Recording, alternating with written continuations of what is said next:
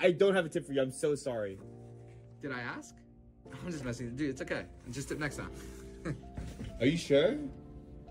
Did I ask? No, dude. That's why I said I. I don't need a tip. I. I'm glad that you bought pizza, keeping up, keeping us in business. I thought delivery drivers need tips. No, we need jobs. And that's what we need. That's why I work. That's why I get up every single day.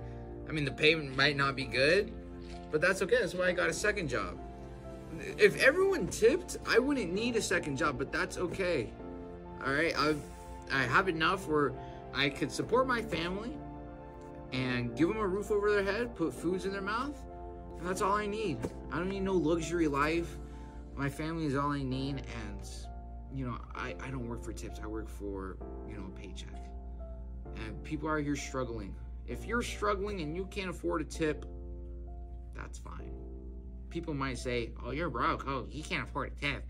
No, you know, you don't, you know, think what other people think. Do what you think is right, because what you think is right is most likely right. And if you can't, even if it's a dollar or two, that's better than nothing.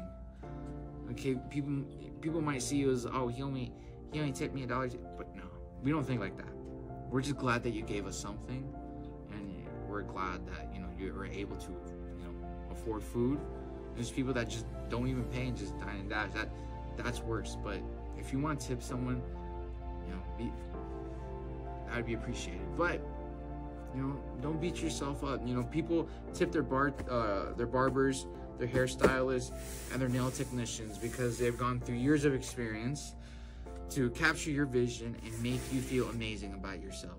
Now, this is just pizza. This is just gonna, you know, just fatten you up a little. But you know, it's a necessity. It's food. So, I hope you enjoy your pizza, man. Before you go, thank you so much. You're the first delivery person who's been so super kind. No, man. Nice. Thank you for supporting us. Because without you, we would be nothing. Thank you. Damn! Here's five hundred dollars. That's your biggest tip, I hope. Yes.